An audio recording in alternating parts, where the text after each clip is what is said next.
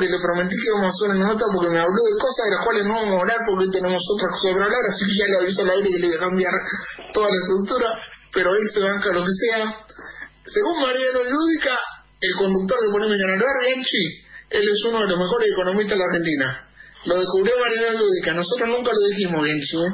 Lo descubrió Mariano Lúdica, y él te manda el pedacito de Polémica Bar. Nunca puso cuando lo dijimos nosotros, pero nosotros lo queremos igual. Es Fabián Medina y es amigo de la casa. Hola Fabi, ¿cómo andas? ¿Qué tal, Jorgito? ¿Cómo estás? Te descubro Lúdica.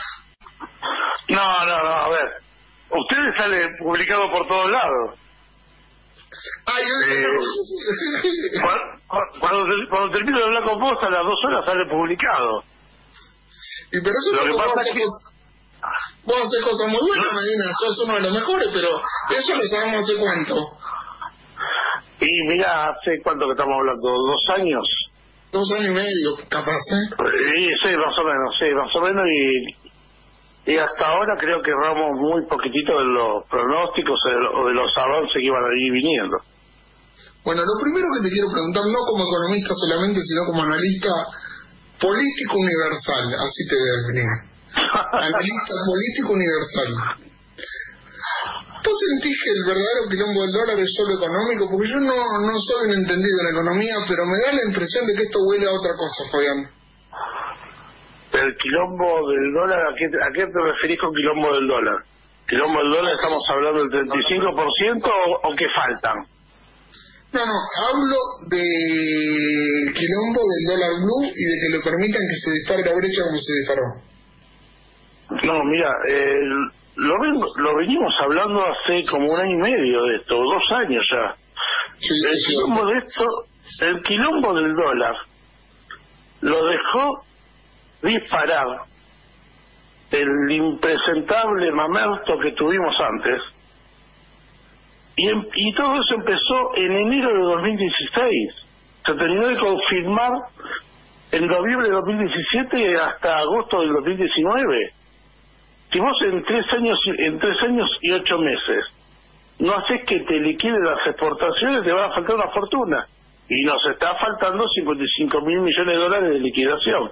Lo que pasa que o no saben, o no escuchan, o no quieren escuchar, o como decía el general Perón, para hacer una tortilla que romper los huevos, hicieron la tortilla equivocada y rompieron los huevos equivocados. O no les interesa romper los huevos correctos, ¿no?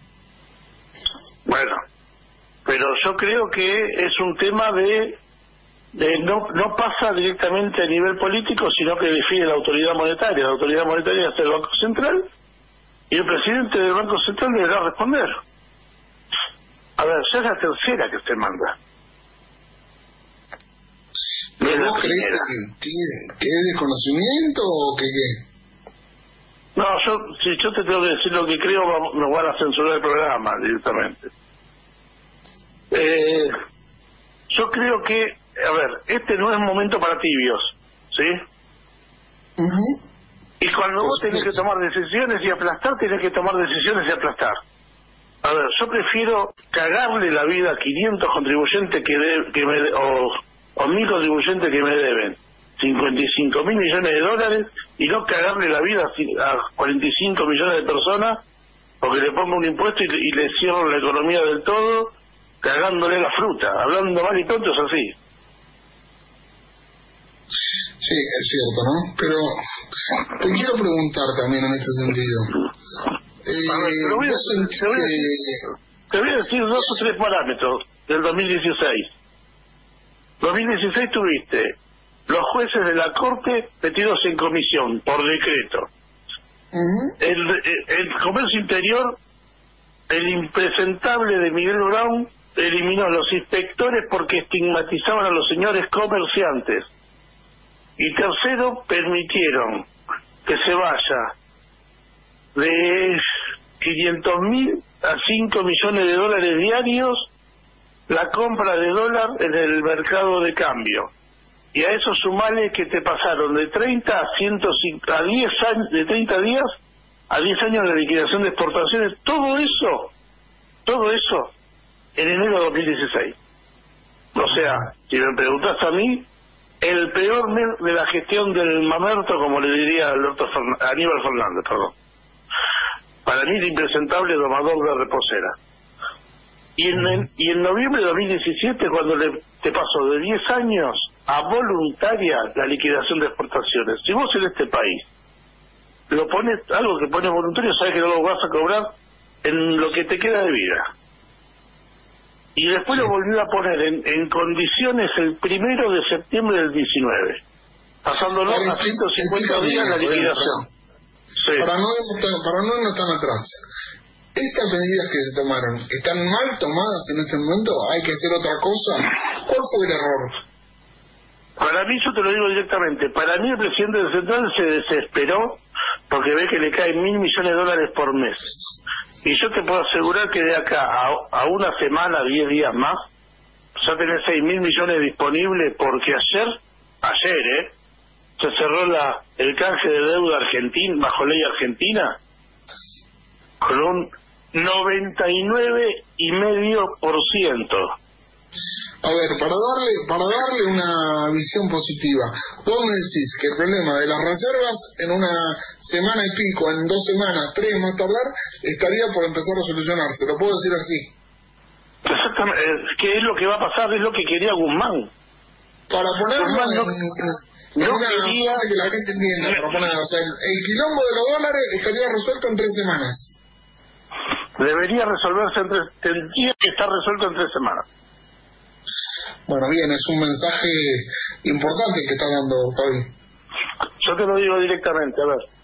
El presidente estaba en viaje desde San Juan y después tuvo, después que, después que el presidente del Central hizo el anuncio, no le quedó hasta que se a bancar, lo que tenés posibilidad de salir si lo bancás, o como decimos el barrio, le pegas un bolero en el orto que lo haces aparecer en medio, en medio de la autopista Constitución. Claro. El error fue de PES entonces. ¿Cómo se equivocó? Con esto se equivocó con el pago de los jubilados de abril. Eh, a ver, paremos un poquito la moto. Estamos cansados, hermano. Una cosa es un error, dos cosas son errores, el tercer error no está más gestionando. Y te digo... Ten en cuenta que estamos en pandemia, que también cambiar funcionario ahora es complicado. Está bien, pero a ver, lo que sí te voy a decir que el nombre que anda dando vuelta para el Banco Central no es así. Están hablando de redrado, de redrado y redrado no va al Banco Central porque tiene mucha resistencia desde dentro del gobierno. ¿Y la resistencia es justificada o injustificada? No, resistencia, estamos hablando de una resistencia de hace más de 10 años ya. Pero es imposible que llegue. Y recuerda que en el 2010... Eh, Yo me acuerdo, que la pregunta concreta, ¿es justificada o injustificada la resistencia? Y cuando vos haces algo a un esquema político es muy difícil que vuelvas con el mismo esquema. Ah, bueno. Ahí iba yo. También hay que ver la coherencia, ¿no, Fabio? Porque en algunos lugares hay que ser coherente también. A ver, él se fue del Frente para la Victoria en 2010 a los portazos, en enero de 2010. A por el otro, como quieras llamarlo. Eh, se, se, cruzó de vereda. Cosa que mucha gente que hoy yo conocemos no hizo. Se fue con Dualde. Después de Dualde terminó con Massa. conocemos no hizo.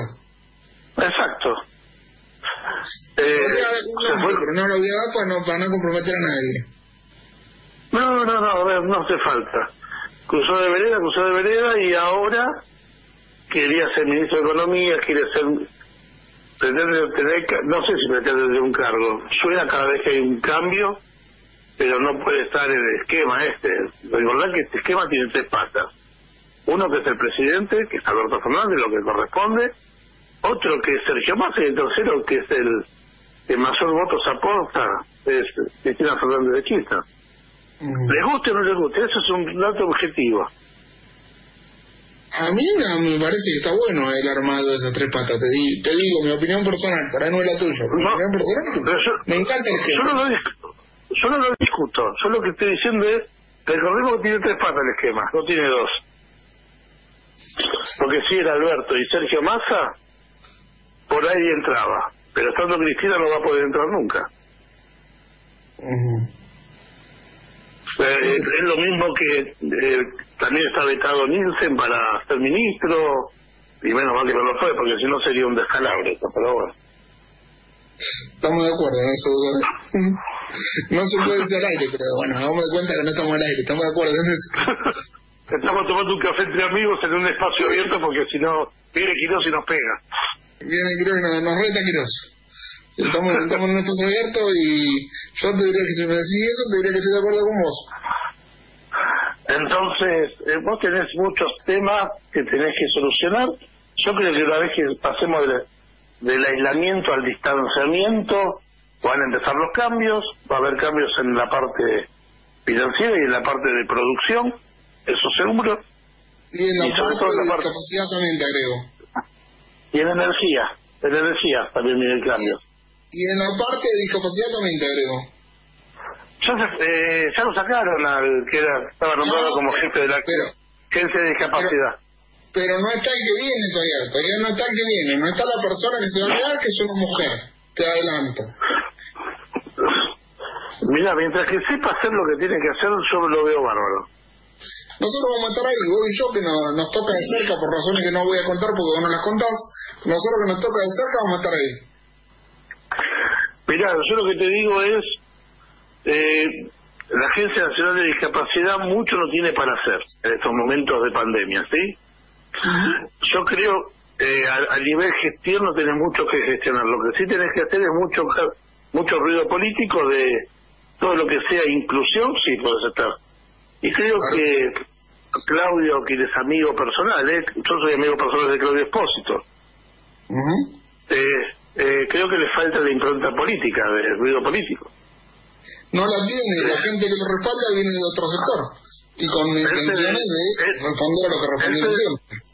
Él se dedica siempre a gestionar y me parece bárbaro, pero no es no es la posición en estos momentos porque no tiene, a ver, no tiene nada que gestionar, eh, Jorge. ¿Qué vas a gestionar Claro. la pandemia? Claramente, pero cuando algunos quisimos darle un cariz político, hubo un- una cerrazón de cierto círculo y entorno y contexto que se pusieron bravos los muchachos. ¿eh? Siempre se ponen bravos cuando lo quiere llegar. Yo Eh, soy eh, amigo personal tanto de Claudio como de Gonzalo Castillo. Y Gonzalo es un fenómeno a nivel persona y sabe muy bien lo que tiene que hacer con discapacidad y en lo político, pero no fue el número dos, el número dos designado. ¿Qué que te diga? Porque Bueno, no, Gonzalo hubiera estado a cargo. eh, ahí donde hay un problema, ahora viene la eh, doctora Ramón, que es una mujer que viene de la JUS, viene de la justicia y viene en una imprenta muy importante. Si hubiera un cambio sería a partir de diciembre y en ese sentido, amigo querido. Pero bueno, te dejo que, como siempre, cierres como vos quieras, porque me queda poco tiempo y quiero que tengas el aire disponible. Mira, yo te lo voy a decir directamente. Vos tenés acá un esquema en el cual sigo diciendo falta eh, te está comunicando mal las cosas. A la gente le tenías que haber explicado dónde venía el problema de los dólares y por qué adoptaba las medidas que tenías que tomar. Porque cuando yo explico el problema de los dólares, de dónde viene, toda la gente se queda con la boca abierta. Y desde ahí te digo que falta un comunicador fuerte dentro del gobierno que deje que deje que el presidente esté un poco más tranquilo. Está gestionando la pandemia, no puede estar en todos lados. Yo creo, en lo personal, ¿eh? yo creo que el comunicador que necesita el presidente para defenderlo a capa y espada, es ni más ni menos que Aníbal Fernández. Está- Sí, ya lo, tiene- ya lo dijimos, pero no tiene- me dieron bola con eso. eh, después vos tenés muchos temas en los cuales tenés que fijarte y, empezar a gestionar en serio, a gestionar en serio, gestionar más fuerte y sobre todo que hay mucho pelotudo dando vueltas que se cree que está manejando el gobierno con cargos de segunda o tercera línea o gente que sale a torpedear al gobierno. A ver, entendámoslo mucho más fácil. Tanto el jefe de gabinete como los ministerios los elige el presidente. ¿Sí? Si el presidente designó a Santiago Cafiero y designó a Daniel Arroyo como ministro de Desarrollo Social, él tiene su decisión tomada. Vos no le podés torpedear desde los medios y ahora diciendo que el presidente está groggy. Queda mal. Aparte, una persona de 80 años con problemas de salud, no está bien que haga esas cosas. Más del cabeza de Banfield. Del Sabeca, diría mi amigo Del, del Sabeca. Eh, porque le metió, metió gente propia como embajador y metió gente propia como director nombrado por decreto presidencial en el ICE. A ver, suficientes cargos te dieron para tu esquema personal. No podés salir a torpedear un gobierno pegándole al presidente cuando estás gestionando 24 horas de 24 horas con la pandemia. ¿Te Pero puede fíjate- gustar o no te fíjate puede un- gustar? Fíjate un tema, Fabi, perdón que te corte. Fíjate un tema. Cada vez que hay olor a debilidad, olor a debilidad, ni siquiera debilidad, ¿eh? Cada vez que hay olor a debilidad, aparecen estos personajes. Pero te estoy diciendo, él quiso ser jefe de gabinete y la señora quería ser ministro. Tienen 80, promedio 75, 80 años. A ver, lo pones de jefe de gabinete, le pasa algo. ¿Qué haces? ¿De qué te dibuja? Porque después no te van a putear porque perdiste el jefe de gabinete, te va a putear la familia porque perdiste al, que, al cabeza de familia, en este caso, sin doble intención, ¿no? Sí, re- realmente son aspiraciones eh, oníricas, te diría, por decirlo de una manera elegante. Fabi, te dejo porque tengo una tanda, pero quería que dijeras todo lo que quisieras porque vos sos un hombre muy importante para este esquema y vas a tener que empezar a mandar audios para nuestro nuevo portal que se viene a partir de octubre te aviso. No hay ningún problema. Yo más que oníricas, yo diría que son onanísticas las quejas que haces. Me gusta lo de onanístico, pero no lo veo a los 80 onanistas. Y bueno, pero las reacciones que tienes son de un pibe de 15.